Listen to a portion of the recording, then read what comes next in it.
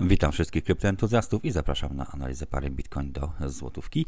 Dzisiaj jest środa, 14 października 2020 roku. Analizę kontynuujemy na interwale dziennym. Ja będę używał świec japońskich.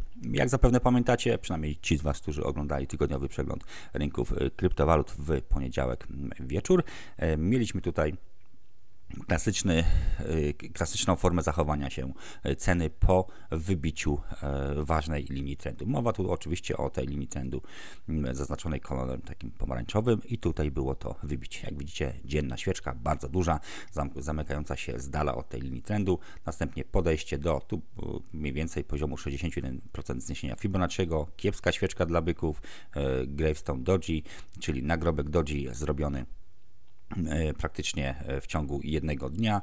Zejście niżej i zobaczcie, tutaj mamy oczywiście test tej linii trendu od góry, czyli mamy test tego po prostu wybicia. To było wszystko dnia 2 października. Od tej pory mamy dwa dolne takie e, cienie zrobione przy, przy dołkach właśnie tych dwóch świec i potem mamy już podejście przez 3 dni wyżej. Znowu mamy za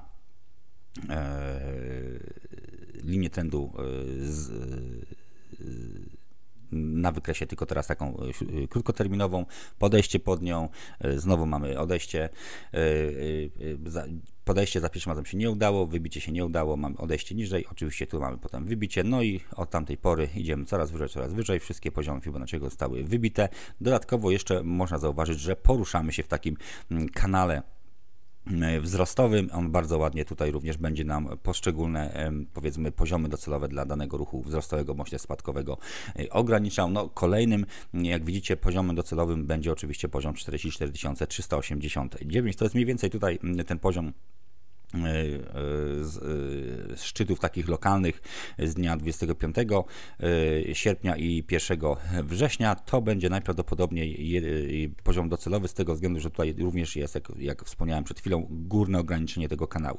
Więc tutaj bym się spodziewał jakiejś reakcji ze strony, ze strony podażowej, ale patrząc na to, jak zachowuje się właśnie rynek do tej pory w tym kanale i wybijając te, te wszystkie linie tutaj trendu, W dalszym ciągu cenę kontrolują byki. Cenę kontrolują byki i wszystkie zejścia e, niżej, zejścia korekcyjne, pullbacki są robione z powodów czysto technicznych, właśnie po to, żeby przetestować e, e, na przykład wybicia danego poziomu, czy też wybicie danej linii trendu. Póki co po pozbyciu się tutaj e, wszelkich e, wątpliwości w, w, najbliższym terminie. Cena będzie kontrolowana przez byki i najprawdopodobniej zobaczymy jeszcze, jeszcze e, tutaj lekko wyższe mm, poziomy cenowe Oczywiście no, tegorocznym, tegorocznym szczytem jest poziom 46 300, co by było mniej więcej w okolicach 12 tysięcy y, dolarów amerykańskich. Natomiast no, pytanie jest, czy tutaj w tym jednym ciągu takim wzrostowym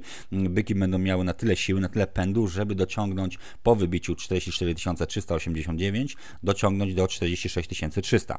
Jak widzicie, y, momentum które mamy tutaj na e, poniżej wykresu jako, jako wskaźnik, no jest dosyć już tutaj e, silne, nawet, nawet można powiedzieć, że jest silne e, po prostu. 65 punktów to nie, jest, nie są już małe wartości, w zasadzie jesteśmy 5 punktów od poziomów, przy których można, możemy powoli już myśleć o takim rynku, który jest dosyć dobrze wykupiony, więc myślę, że, te, że właśnie ta przestrzeń tutaj pomiędzy 43 450 a 44 389 będzie wykorzystana po to, żeby dociągnąć jeszcze jeszcze przy tym momentum, które na razie nam nie słabnie, do poziomu tutaj tego oporu e, technicznego i zobaczyć, jak tutaj zachowają się niedźwiedzie. Jeżeli niedźwiedzi tam nie będzie, albo będą wykazywały małą aktywność, na tyle małą, żeby zbić te momentum na spadkowe, no to w tym momencie wiadomo, że byki nie będą miały innego wyboru, jak tylko dociągnąć cenę wyżej do następnego poziomu docelowego, jakim jest 46 300. Jeżeli niedźwiedzie wykażą tutaj jakąś aktywność,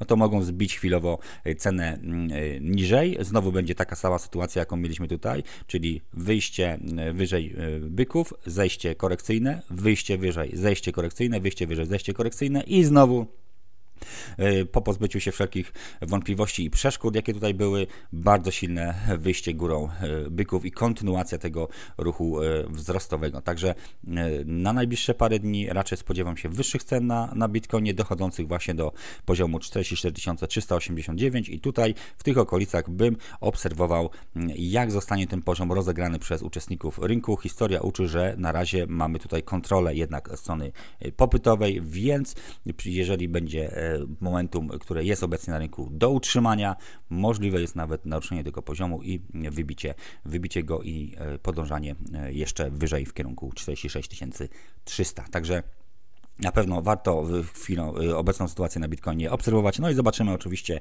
jak to zostanie rozegrane. Rynek nam tutaj bardzo szybko w ciągu najbliższych kilku dni, to mam na myśli, wyjaśni całą sytuację na Bitcoinie. No i tak by to wyglądało, jeżeli chodzi o następne parę dni. Myślę, że to wszystko, co mogę na ten temat powiedzieć na dzisiaj. Dziękuję bardzo za oglądanie. No i oczywiście do zobaczenia w piątek na analizie weekendowej Bitcoina. Trzymajcie się ciepło. Cześć, cześć.